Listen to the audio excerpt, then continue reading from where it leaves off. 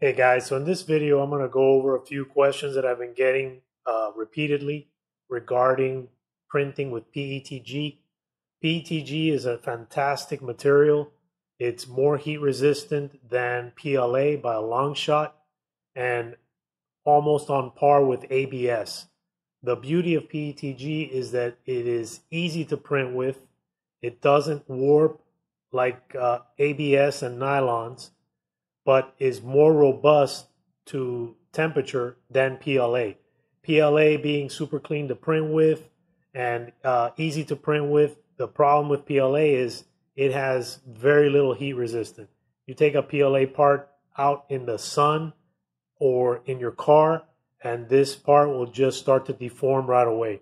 You can't leave it near an open window. It's just not robust at all if it's going to be exposed to any kind of temperature. Now, with PETG, there are a couple things that you need to be aware of. The build plate that you print PETG on can't just be the glass build plate that comes with your Ender 3 or build plate that comes with your standard Ender 3. Another issue is if you're using glass, PETG does not like to stick to glass.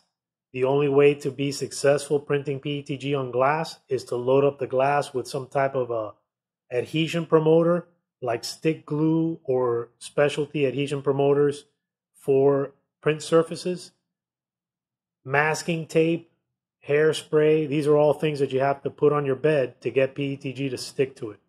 Now what I have here on this Ender 3 V2 is a sheet of Garolite G10 this material is awesome. I highly recommend that you guys, if you haven't already experienced using Garolite as a build surface, this stuff is just next level. Everything sticks to it. When the parts cool, the parts mostly self-release. Those that don't self-release can be easily released by just slightly pulling on them. If you have a very large part, this material is about a 16th of an inch in thickness.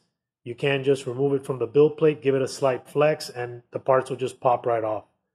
Anyway, I can't recommend this build surface enough. Ever since I've put these on my printers, I've had zero problems with adhesion and parts removal. I've had a lot of you ask me to create some based on my DIY Garolite video for the Ender 3 V2. They're at Amazon. I'll link them in the description for those of you that are interested. Hey guys, if you're new to the channel and like this video, consider subscribing, give this video a thumbs up, turn on your notification bell, and leave some comments. I love the comments. I enjoy answering your questions and helping you guys navigate this wonderful hobby that is 3D printing. All right, so let's get to the second topic. The second thing is that's very important is determining what the proper temperature is for the PETG filament material that you purchased. So what I have here is a empty spool of Overture PETG, and if you look closely, Overture puts it on the uh, spool itself. So here they got a temperature range, 230 to 250 degrees Celsius, and they give you a bed temperature of 80 to 90 degrees Celsius. Now what I found with the Garolite G10 is the 80 degrees Celsius works great for PETG and nylon. Uh, with PLA, you're going to have to turn down the temperature to maybe 50. So let's jump on to Cura and create a couple of calibration parts. Once you got Cura loaded up, what you're going to do next is head over to where it says File, Open File, and then we're going to load a part. So I have this uh, PETG temp tower that I made. And Cura has some calibration parts that you can add by going over to the marketplace up here on the top right corner and downloading an app that it will install into Cura. But the calibration parts that are included in that don't match up to the pre-installed scripts that Cura comes with. And that's why I decided to make my own. So this is based off of their models. I just scaled them properly so that the scripts align with the model. Uh, what typically happens when you load these scripts is there's certain changes that happen during certain layers, and the included plugin models did not coincide with that script. So use these. I'll make them available in the description for you guys. So this particular one is a PETG temp tower. So once you have it open, uh, switch over to where we're in the preview mode. So you got prepare up here at the top and then you got preview. And then scroll down your little layers uh, tab and we're going to come up to the first layer here just to verify. So over here it says that at layer 52, that's when our first PETG test bridge ends. And what we're going to do next is head over here to where it says extension, move down to post-processing, over to modify G-code. And what we're going to look for is temp fan tower. Click on that and it's going to load a script. Now if you notice, this script says that uh, the change layer happens at 52. So if you notice here, the new model that I created, it aligns with the script. It's at 52. We don't have to do anything with the change layer offset. That is the height of the platform on the bottom, which also coincides with this script. So nothing to do there. The only change that has to be made is with the temperature. So come up here with the temperature, change this to 240. I found that printing any PETG uh, above 240 serves really no purpose. The the material gets extremely stringy and uh, it starts to to uh, elephant foot. Uh, anyway, the the prints are not good. It's distorted. So anything above 240 really is not necessary for PETG. If you're working with a different material like nylon or polycarbonate, uh, those, those materials are going to require those higher temperatures. Also, there is a thermal limit to using the uh, Bowden tube setup, and that limit is at 240. So keeping this model at 240 is safer for you guys that aren't running a all metal hot end. So once that's done, just close this script. You can see that the script is active because down here at the bottom there's this little box with a red number one. The red number one tells you you have one script loaded. And then next thing is we're just going to save this to a disk. So save this to your SD card. Let's run over to the printer load it up, and print it.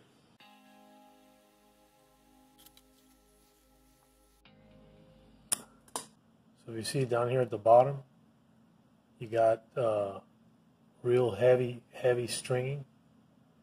And there's a couple of things there that are causing that heavy stringing.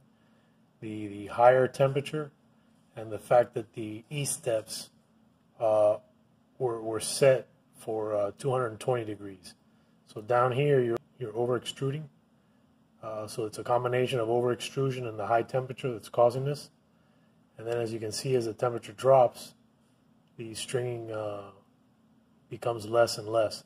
So I currently print at 220, which is uh, right here. Uh, but you could set the temperature anywhere between 215 and 220 for this particular filament and you'll get uh, very good, very good prints. So now the second thing we're going to have to do is to create a retract tower. So let's jump back onto Cura and we'll do that real quick. Print the retraction tower to figure out which retraction is best. Alright guys, back in Cura, we're going to disable this script here.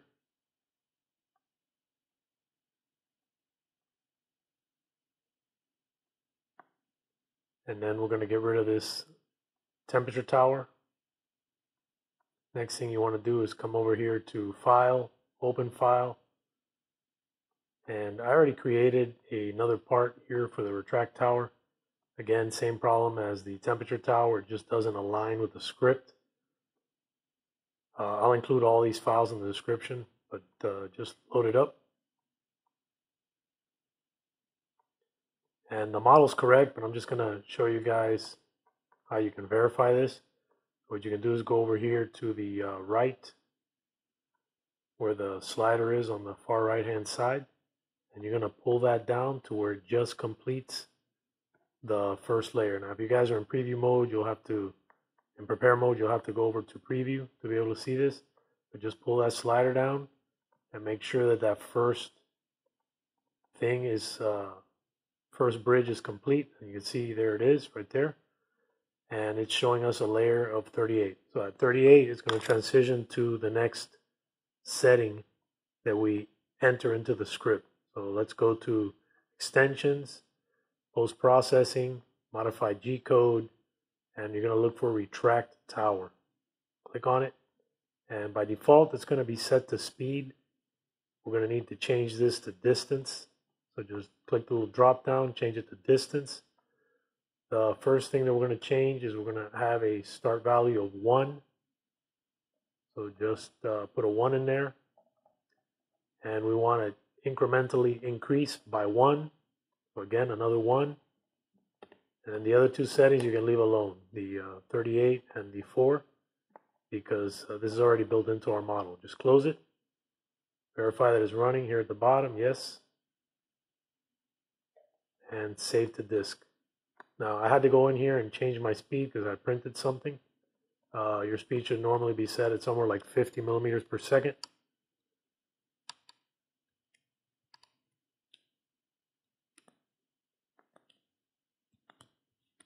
And then go ahead and save it to your SD card. And let's load it up on the printer and print.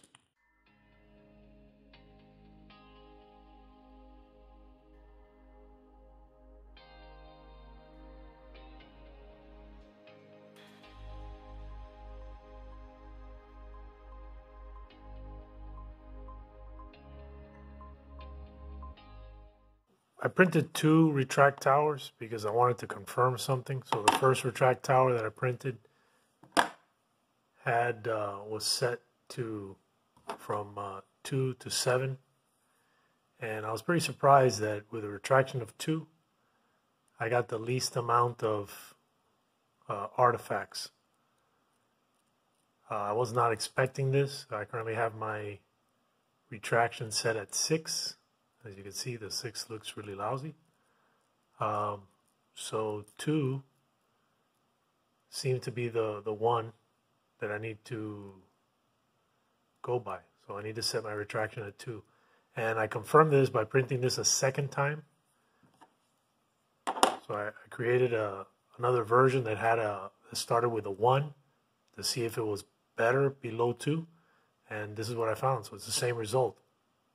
Retraction of 1 is not nearly enough. Retraction of 2 is excellent, very good. And then it starts to deteriorate from there.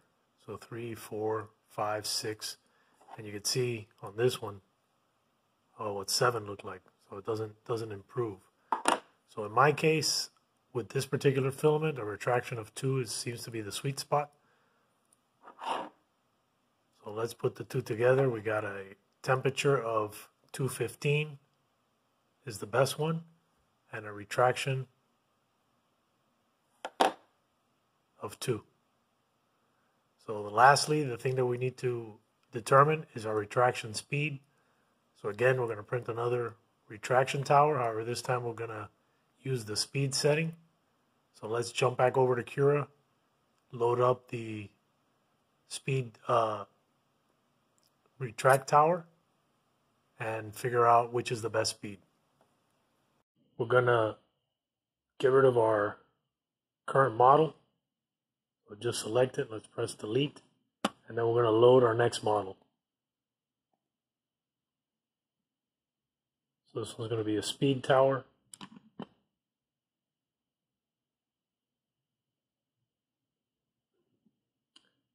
And uh, we're going to need to change the script. So just click on the script. We're going to now change it to speed. And then our starting value is going to be 10. And we're going to increase in increments of 5. And that's it. Uh, close it. Verify our script is still running. We're layer change 38. And now this model has the uh, appropriate markings on it. So 10, 15, 20, 25, 30, and 35. Uh, so one more thing before we print it. Let's go into our Cura settings and let's review everything that we that we know so far. So under material, click on that. According to our temperature tower, the cleanest print that we got was at 215 degrees. So I'm going to go ahead and change my print temperature to 215. Next thing is going to be uh, your travel. So click on travel. And based again on our previous test with our distance retract tower, we got a retraction distance of 2. So let's go ahead and change that to 2.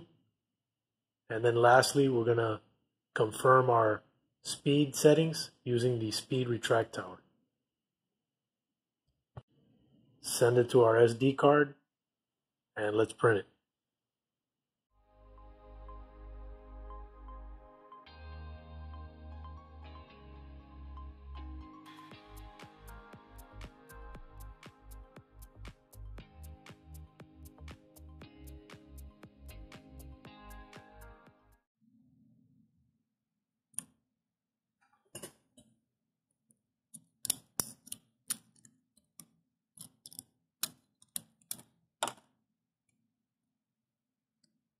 All right, guys, so let's take a look at it here.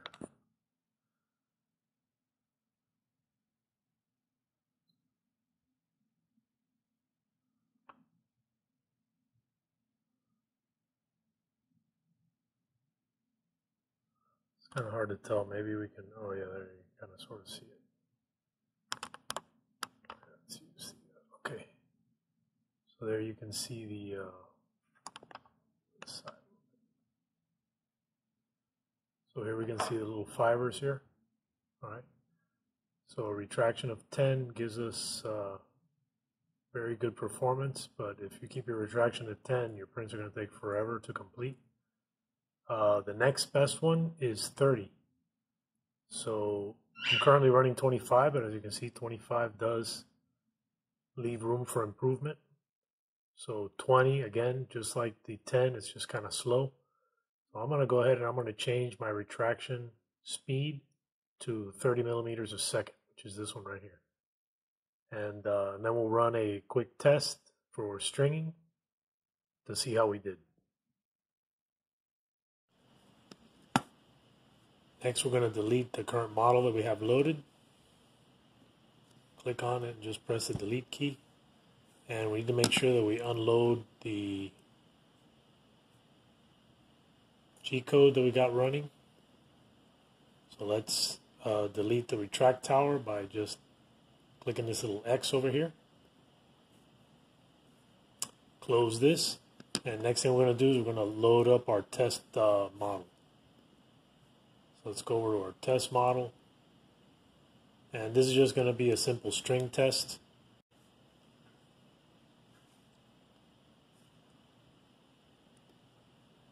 Once it loads, we're going to click on our printer settings.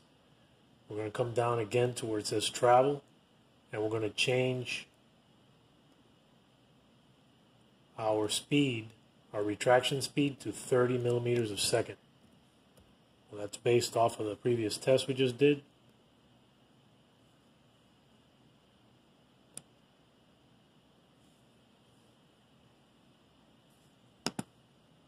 Now that it's sliced, we're going to save it to disk and do a quick test print with our new settings.